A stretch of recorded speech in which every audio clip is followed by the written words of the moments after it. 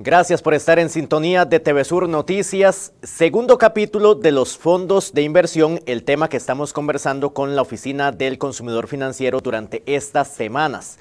Don Danilo Montero, el director de esta oficina, nos amplía detalles. Don Danilo, gusto saludarlo, muy buenas tardes. Tipos de fondos de inversión para que los amigos y amigas televidentes lo tengan claro. Muy buenas tardes, eh, Johan, y un gran saludo a todos los que nos siguen.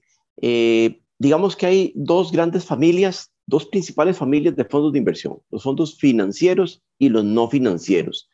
Dentro de los financieros eh, hay una variedad de eh, fondos que son eh, algunos para mm, invertir ahorros que ocupamos muy, muy pronto. Son fondos de liquidez, los llaman algunos, que son fondos que relativamente en un plazo muy corto yo puedo mantener la plata invertida, pero no tengo que decir cuándo, ¿verdad? Yo puedo colocar la plata mañana y decidir sacarla el próximo viernes, el, viernes de la próxima semana. Pero de repente no lo ocupo el viernes, lo saco hasta una semana después. Esa flexibilidad me dan los fondos de inversión de liquidez. Hay otros fondos que son un poquito más a mediano plazo, que son fondos como para mantenerlos por un periodo de unos 6 a 12 meses. Son fondos eh, eh, de, de, ingreso, que en algunos casos se llaman, y son fondos que entonces a veces lo que me permiten es estar recibiendo como si fueran los cupones de un depósito a plazo. Cada tres meses me pagan los rendimientos. Ese es para otro tipo de cliente. No es para el que ocupa la plata muy rápido, sino para el que ocupa la plata un poquito a lo largo del tiempo. Y hay otros fondos financieros que son a más largo plazo. Son fondos eh, de, crecimiento que son fondos que están destinados para que uno mantenga la inversión tres, cuatro años, dos, tres, cuatro años. De manera que entonces ahí hay una variedad de tipos de fondos para la gente que quiere ahorrar una platilla.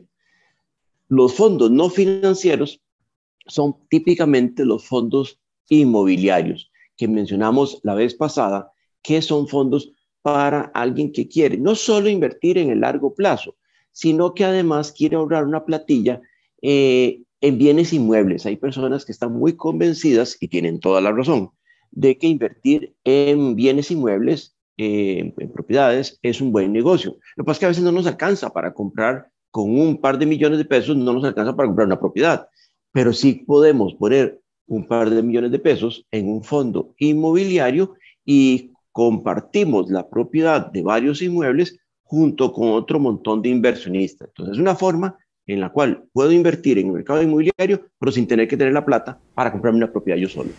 Don Danilo, y con todo este panorama que usted nos expone, ¿qué es el elemento positivo de colocar el dinero en fondos de inversión?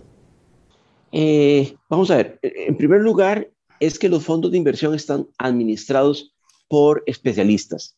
Eh, yo puedo saber algo de inversiones, pero no soy un especialista. No estoy tan conectado con lo que creo que va a pasar en la economía, con lo que va a pasar con las tasas de interés, con el tipo de cambio. los fondos son administrados por entidades que son autorizadas por la Superintendencia de Valores. De manera que entonces no es cualquier hijo de parroquia el que administra eso. En segundo lugar, eh, están eh, protegidos en un patrimonio separado del administrador.